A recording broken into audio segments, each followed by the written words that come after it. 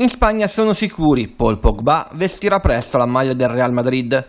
Secondo il direttore di OK Diario, Eduardo Inda, il centrocampista francese non tornerà alla Juventus, ma si trasferirà in Spagna alla corte di Zinedine Zidane. L'annuncio dovrebbe arrivare già la prossima settimana.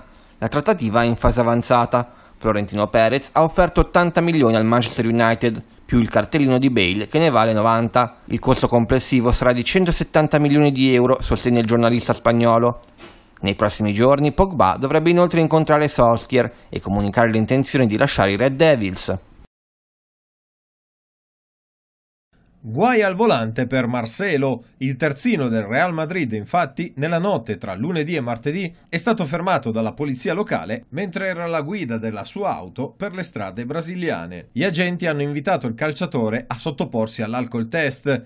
Il campione brasiliano però si è rifiutato, preferendo pagare una multa di circa 675 euro. A quel punto è scattato il ritiro della patente per un anno nel territorio brasiliano. Estate non certo brillante per Marcelo dopo la non convocazione per la Coppa America, nella quale il Brasile è finalista. L'ex direttore sportivo della Roma Monci vorrebbe fare uno sgarbo ai tifosi laziali e portare a Siviglia Luis Alberto. Secondo il quotidiano spagnolo Marca, l'ex DS della Roma avrebbe come priorità il centrocampista spagnolo della Lazio, ritenuto ideale per lo scacchiere di Lopeteghi.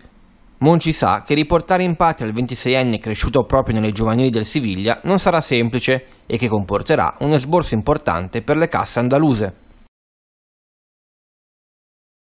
Dopo il brutto incidente ad Assen, in cui ha rimediato una frattura alla sesta vertebra, Orge Lorenzo resterà fermo per diverse settimane. Nel prossimo Gran Premio in Germania, il pilota spagnolo sarà sostituito sulla Honda da Stefan Bradl, attuale collaudatore della casa giapponese. Da quando lavora come test rider, il pilota tedesco aveva fatto tre apparizioni mondiali sulla moto ufficiale grazie a delle wild card, mentre l'anno scorso è sceso in pista due volte con i team satelliti LCR e Mark VDS. Sono felice di guidare la Honda nel Gran Premio di casa mia, ha spiegato Bradl. Ovviamente mi dispiace per Lorenzo e spero che recuperi il prima possibile. Nel frattempo darò il massimo per aiutare il team a ottenere il miglior risultato possibile.